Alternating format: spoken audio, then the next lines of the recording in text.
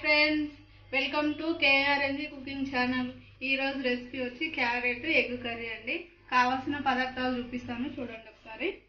Carrot కొత్తిమీర కరివేపాకు onions four పచ్చిమిర్చి అండి ఫోర్ ఎగ్స్. ఎగ్స్ మీరు ఎన్ని వేసుకుంటారో మీ క్వాంటిటీని బట్టి వేసుకోండి. చూడండి కడాయి పెట్టుకుంటున్నాను నేను. కడాయి పెట్టేసి ఒక మూడు స్పూన్ల ఆయిల్ వేసుకుంటున్నాను.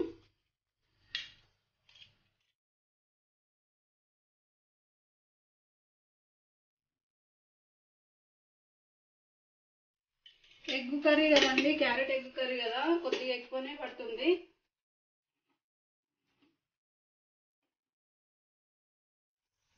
చూడండి ఆయిల్ వేడైంది నేను రెండు పచ్చిమిరపకాయలు ఒక స్పూన్ ఆవాలు జీలకర్ర. కొద్దిగా వేగాలండి జీలకర్ర ఆవాలు జీలకర్ర. చూడండి ఆవాలు జీలకర్ర వేగిపోయింది నేను ఆనియన్స్ వేసుకుంటున్నాను ఆనియన్ ఒక రెండు నిమిషాలు ఆయిల్లో బాగా ఉడకాలండి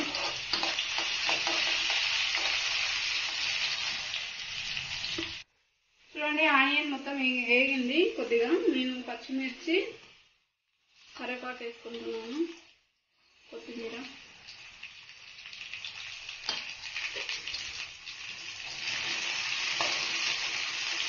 ఒక్క నిమిషం ఇది కొద్దిగా వేగిన తర్వాత క్యారెట్ వేసుకున్నాను చూడండి కొద్దిగా అంటే కొద్దిగానే అల్లం వేస్తున్నాను. తగినంత పప్పు చాలా సింపుల్ కర్రీ అండి. క్యారెట్ వెజ్ కర్రీ టేస్ట్ మొత్తం చాలా బాగుంటుంది. క్యారెట్ ఫ్రై పిల్లలు తినరు కదండి తిన్నప్పుడు వేసి పెడితే చాలా ఇష్టంగా తింటారు. చూడండి ఆనియన్ మొత్తం వేగిపోయింది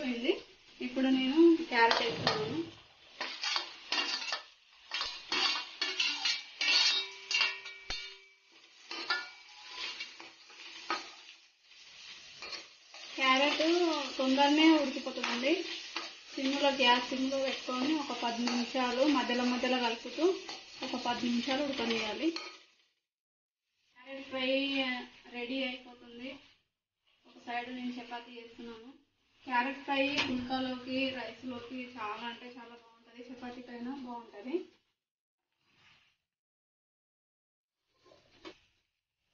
చూడండి క్యారెట్ మొత్తం ఫ్రై అయింది కదా.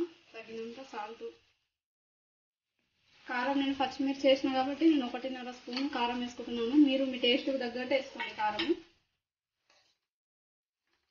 ఒకసారి మొత్తం కలిపేస్తాను ఒక ఒక రెండు నిమిషాలు ఉప్పు కారం మొత్తం క్యారెట్ పట్టు కట్టాలి కదండి. అందుకే ఒక రెండు నిమిషాలు. ఈ లోపల ఎగ్స్ కట్ వేసుకుందాం చూడండి క్యారెట్ క్యారెట్ మొత్తము ఉడికిపోయింది. ఉప్పు కారం కూడా అన్నీ వేసిన కదా ఉడికిపోయింది. ఇప్పుడు నేను నాలుగు ఎగ్స్ ఇట్లా వలగొట్టుకొని ఇట్లా వలగొట్టుకొని కటోరలు వేసుకున్నాను. మీరు కావాలనుకుంటే ఇంకా ఎక్కువ కూడా వేసుకోవచ్చండి. అంటే ఐదు ఆరు ఎంత అనేది మీరు చూసి వేసుకోండి ఎగ్స్. నేను ఎగ్ వేయంగానే ఇప్పుడు ఏం కలపట్లేదు. ఎందుకంటే కొంచెం పీసులు పీసులు లాగా ఉంటే బాగుంటుంది. అందు గురించి నేను ఇప్పుడు ఏం కలపట్లేదు. ఒక్క నిమిషం. చూడండి నెక్స్ట్ కలుపుకుంటున్నాను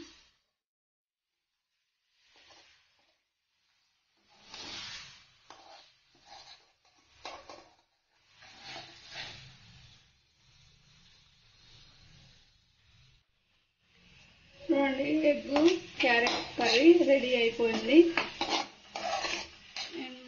కొద్దిగా కొత్తిమీర కూడా మా పైన చేస్తున్నామండి కొద్దిగా.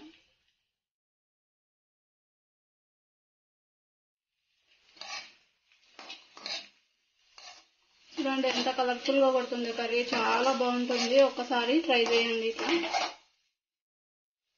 ఇది సెవింగ్ బౌల్లోకి తీసి చూపిస్తాను మీకు.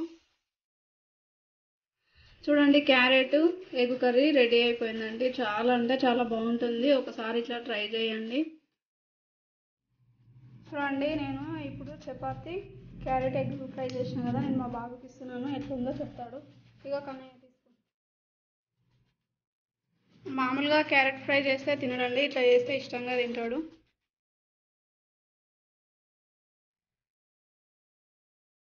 ఎట్లుంది కన్నయ్య? సూపర్ ఉందో.